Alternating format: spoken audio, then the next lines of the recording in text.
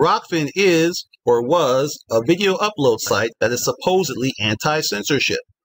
Journalist and political commentator Richard Medhurst made a huge deal about how Rokfin was a place for free speech. When I tried to upload content to Rokfin, it got censored on the spot. It seems like Rokfin's focus is political content. I didn't realize that at first. The video I uploaded to Rokfin was not particularly political. But if Rokfin is as anti censorship as they claim it is, then they shouldn't have censored my content.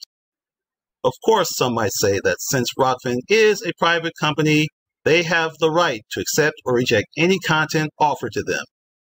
That may be true, but I still hate it when people claim to be against censorship but practice it anyway.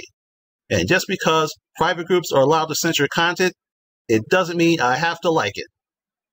Peace, the science out.